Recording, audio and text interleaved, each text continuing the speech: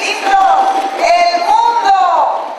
Todo un éxito resultó la megalotería que organizó el comité de campaña de la esposa del candidato de la coalición Todos Tamaulipas al gobierno del estado, Rodolfo Torrecantú, en el recinto ferial que congregó a poco más de 10.000 personas, principalmente madres de familia de las colonias de Ciudad Victoria. Laura Graciela de la Garza de Torre personalmente corrió las cartas en la megalotería para posteriormente compartir el mensaje que su esposo, el candidato a la gubernatura por la coalición Todos Tamaulipas, Rodolfo Torrecantú, deseaba hacer llegar a todos los presentes. Durante una intensa jornada de trabajo por esta capital, la señora la Garza de Torre, acompañada de los candidatos del PRI a la presidencia municipal, Miguel González Salum, Óscar Almarazmer, René Castillo de la Cruz, así como sus respectivas esposas, presidió una comida con integrantes de organismos no gubernamentales en el casino victorense. Aquí dijo que entre las peticiones que le expone la gente destacan el empleo y la seguridad, demandas que serán tomadas en cuenta por su esposo cuando sea gobernador. Nos hemos encontrado con sinceras muestras de apoyo a la candidatura de Rodolfo pues los tamaulipecos saben que Rodolfo Torre es un hombre comprometido a las causas más nobles.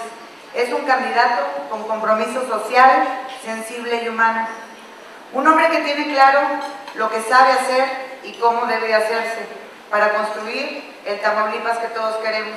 En reunión con jubilados y pensionados, la esposa del candidato por la coalición Todos Tamaulipas destacó que Torre Cantú fijó en su plan de trabajo acciones concretas para seguir apoyándolos en seguridad social, reconociendo que el trabajo realizado por los pensionados y jubilados debe ser bien compensado con más beneficios en la salud, la alimentación y bienestar social.